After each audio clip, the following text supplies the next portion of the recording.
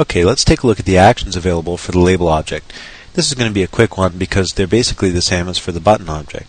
Let's go ahead and click on our canvas and take from the Actions tab here the On Show area and click the Add Action button. Okay? And then from the Choose a Category pull down, we'll go ahead and select Label.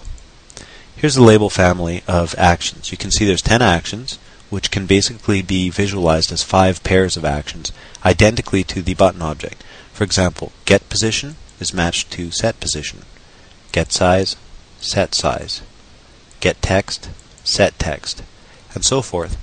So we've got the exact same actions that we just reviewed for the button object, and they do the same thing. For example, label get position gets your position of the label object, for example, 50, comma 100.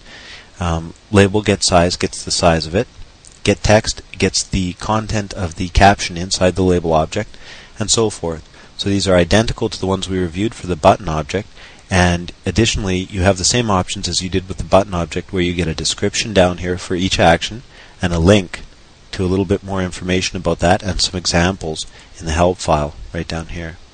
So that's very handy. If you if you are, for example, trying to use label get text, you can just take a look at this little example they've included here, and it becomes immediately apparent how it works. But we'll actually take a look at some examples in the upcoming video here.